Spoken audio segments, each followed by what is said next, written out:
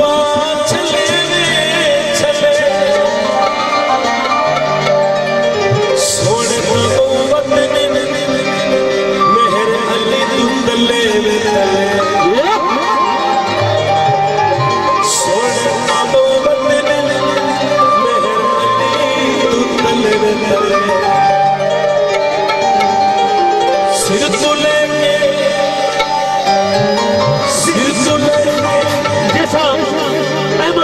भाई और राजा हसन की फरमाइश में। हुसन